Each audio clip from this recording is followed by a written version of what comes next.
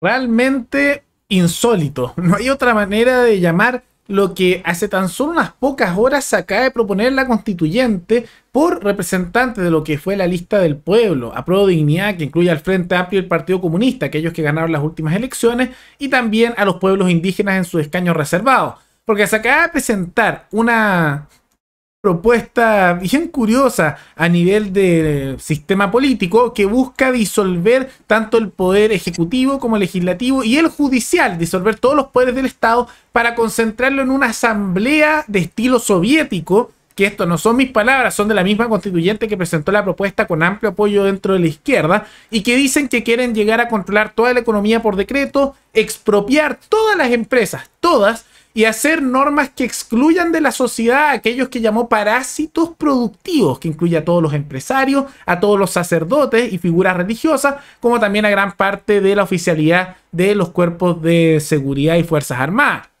No me sorprendería que eventualmente periodistas y otras ramas se dieran esa dirección. Y llamó a producir de este proyecto, que tiene un apoyo no menor, la copia del sistema soviético, literalmente, en Chile. Y, no es palabras mías, son palabras de la misma constituyente que lo presentó, que habló del ejemplo exitoso de la Unión Soviética que había que implementarlo en Chile dentro de esta nueva constitución. Y esto ha llegado a, tan, tal punto que gran parte de la izquierda, esta izquierda más progresista, esta socialdemócrata que quería la nueva constitución, etcétera, se está asustando. Y se está asustando bastante. Periodistas también como José Antonio Neme diciendo cómo esto es posible. Y así, porque muchos de esos sectores quieren más Estado, quieren más subsidio, etcétera, pero no quieren un sistema soviético. Decían que eso era campaña del miedo, ¿no? Pero ahora cuando tienes a sectores importantes de la izquierda proponiendo eso, genera rechazo. Todo eso lo vemos a continuación. Pero antes quisiera agradecerle al, suscriptor Matty Slips, que se metió en el suscriptor más reciente, en decir hacer un aporte mensual al canal a través de la comunidad de YouTube. Así que muchas gracias, te lo agradezco mucho. Y gracias a aportes como el tuyo y el de otros suscriptores que este proyecto sigue adelante y se mantiene independiente. Así que si alguno de ustedes quiere hacer un aporte voluntario en por Flow o por criptomonedas o un aporte mensual por Patreon o por la comunidad de YouTube, pueden decir hacerlo mirando el comentario que se encuentra fijado abajo y también pueden apoyar este programa comentando, dando like y compartiendo este video en sus redes sociales. ¿Qué es lo que ocurrió? que se han aprobado una serie de nuevas propuestas dentro de las comisiones de la constituyente. Y yo sé que muchos van a decir, bueno, todavía no se aprueban en pleno. Pero en realidad prácticamente todas las que se están aprobando en las comisiones son de este estilo. Entonces, algunas que otras se va a aprobar. Y son todas bien nefastas, exceptuando unas cuantas. También se aprobó una descentralización masiva a nivel del Estado, que lo vamos a ver a continuación, que tiene un detalle que, se acerca un poco al modelo federal argentino, que... Mm, tampoco la gran maravilla, pero lo principal y que ha generado más controversia en las últimas horas es la propuesta de la constituyente que fue parte de la lista del pueblo, María Rivera, que acaba de presentar una propuesta para implementar un modelo soviético en Chile con apoyo de, y cito lo mencionado en la radio Bio Bio, la ex lista del pueblo, Apruebo Dignidad, que incluye el Frente Amplio Boric con el Partido Comunista de Jadwe, y escaños reservados indígenas. Y estas son sus palabras. Es por eso que nosotros proponemos un cambio total en la forma de funcionamiento del Estado y también en la administración del poder económico, o sea, de la propiedad de los medios de producción. En primer lugar, proponemos disolver las actuales instituciones estatales y reemplazarlas por una única asamblea que concentre todos los poderes y sea organizada de manera distinta, con representantes electos desde sus territorios y lugares de trabajo. Esto no es una novedad, no es un invento nuestro. En Chile, los cordones industriales fueron embriones de poder de la clase trabajadora, con representantes electos en cada fábrica. En Rusia, los consejos obreros y populares, instituciones del poder soviético, eran compuestos por trabajadores electos desde abajo y de forma democrática, sin la influencia del dinero. En segundo lugar, proponemos que todos los representantes políticos puedan ser revocados por sus asambleas de base si no cumplen su mandato y que no puedan recibir más que el sueldo de un obrero calificado. Tercero, proponemos que la tropa de las Fuerzas Armadas tenga el derecho de organización y el derecho a elegir sus representantes. Hoy solamente la oficialidad puede tomar decisiones políticas y esa oficialidad es parte de la clase dominante. En cuarto lugar, proponemos que ningún sector parasitario de la sociedad tenga representantes en el futuro poder estatal, ni la alta cúpula de la Iglesia, ni los dueños de grandes empresas y especuladores, ni la oficialidad de las Fuerzas Armadas. Esos sectores no producen ninguna riqueza, no trabajan y no deben opinar en la conducción del Estado. Por último, esta propuesta viene combinada a la iniciativa que defenderemos en la Comisión 5, que plantea la socialización de todas las grandes empresas del país, minas, empresas de energía, puertos, bancos, etcétera.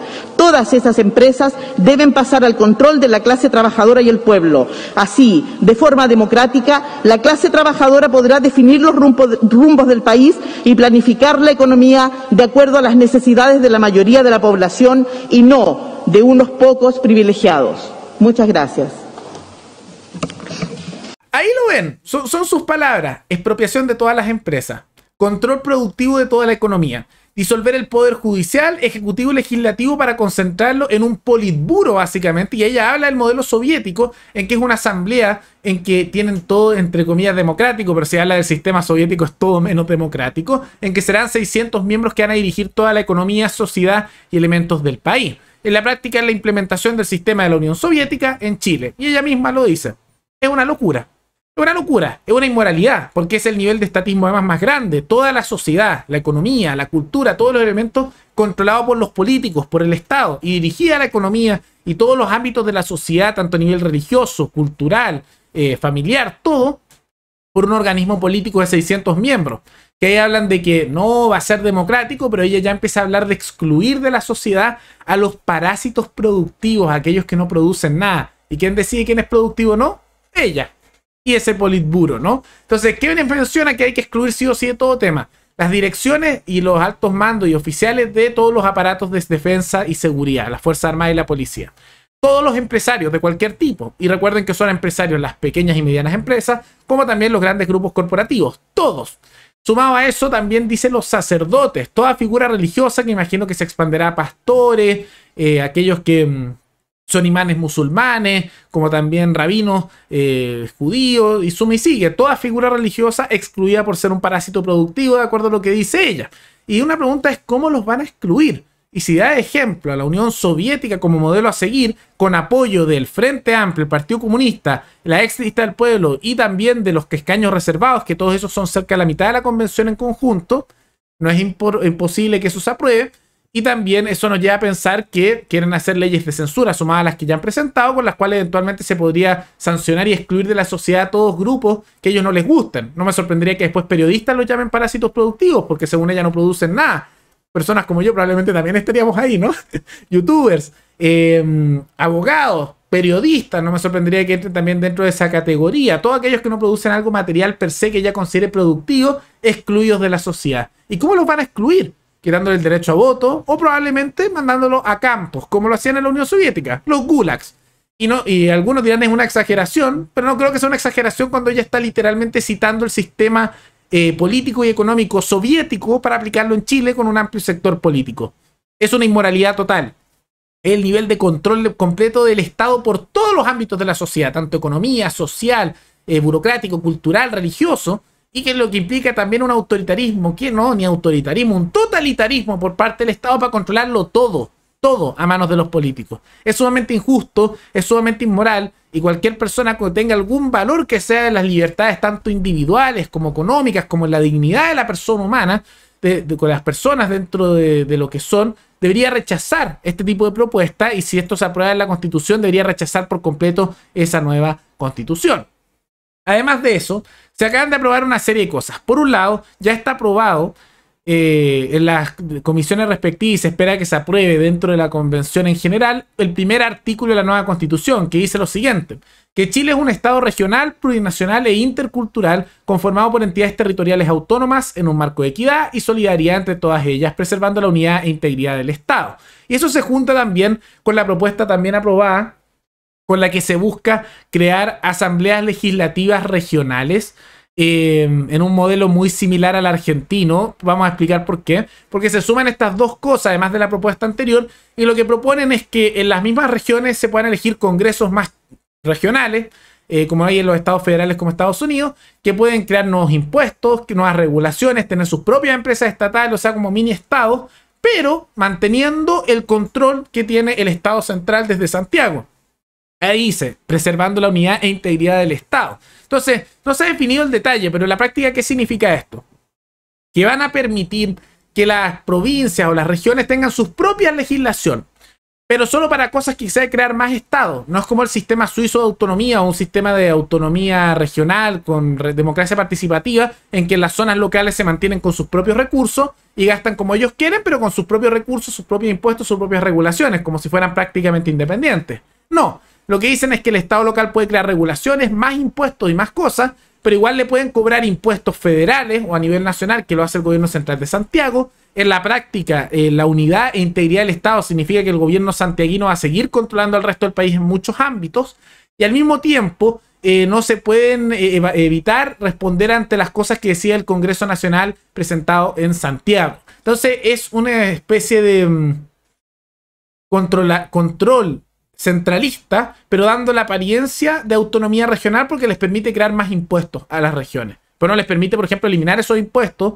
o rechazar la idea de eh, cumplir las normas del gobierno central. No, tú sigues dependiendo del gobierno central de Santiago, que te va a imponer cosas, te van a sacar tus recursos, que vas a seguir subsidiando a Santiago al metro y todas esas cosas, pero tus gobiernos regionales ahora además, con los políticos extra que van a tener ahí, te van a sacar más plata no es realmente una autonomía, ese federalismo al estilo argentino, en que probablemente los presupuestos los da además el gobierno central. Entonces, eh, eso es una apariencia de autonomía cuando en realidad es simplemente favores para políticos locales en vez de darle soberanía a la población local. Porque lo que sería justo y es autonomía de verdad, sería que la población local pueda tomar sus propias decisiones en todo ámbito, tanto para un lado como para otro, pero al mismo tiempo no dependiera del gobierno central para las cosas, no se financia el gobierno central, el gobierno central no le puede sacar recursos, porque el gobierno central sería más bien gobiernos regionales, y cada zona decide las cosas, pero no por un grupo político, que es crear más congresos, sino por la población misma, como se hizo el plebiscito en la Araucanía sobre el estado de excepción.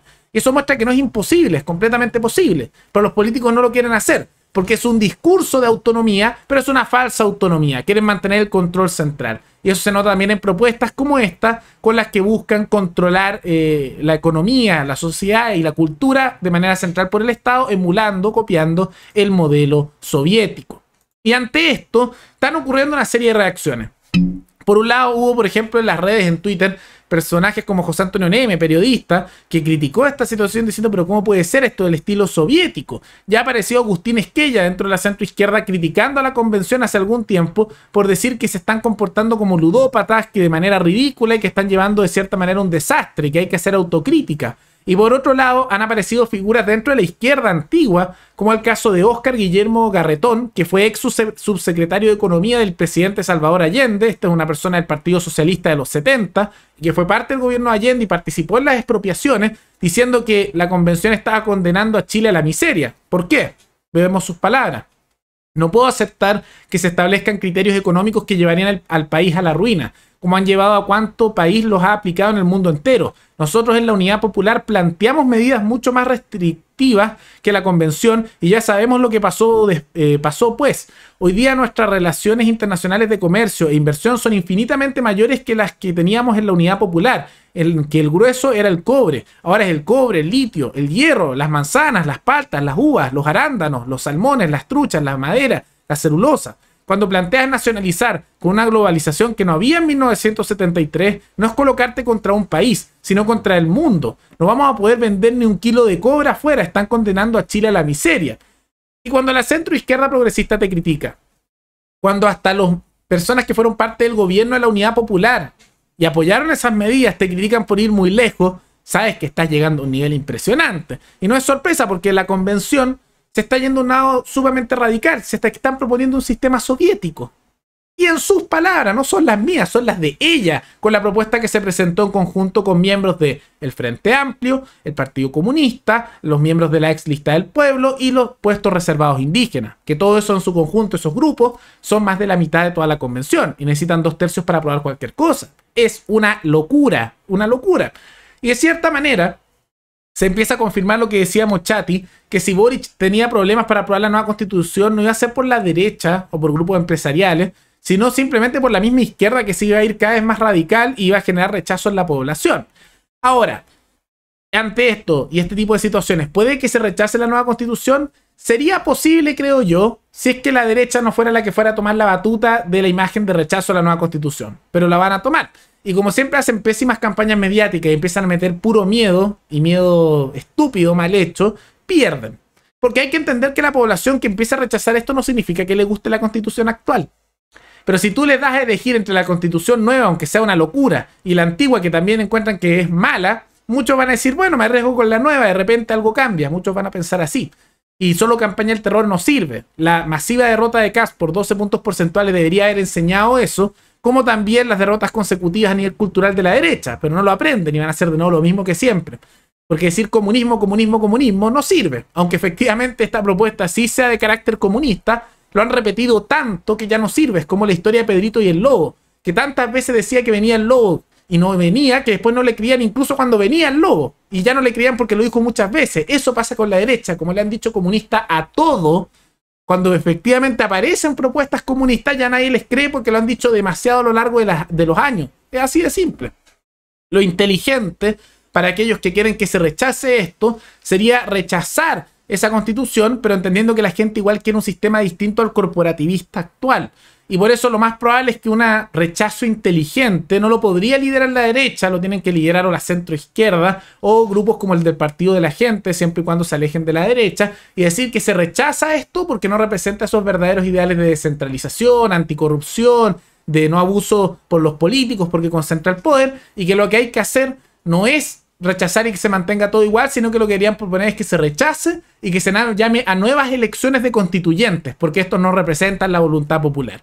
Y probablemente con ese discurso muchos se lo compren y rechacen la nueva constitución. Pero si se aplica el discurso, que probablemente es lo que van a hacer de la derecha, decir, no, no, mantengamos toda la constitución igual, todo igual, rechazo, rechazo, rechazo, va a ganar el apruebo a la nueva constitución. Y probablemente es lo que va a ocurrir.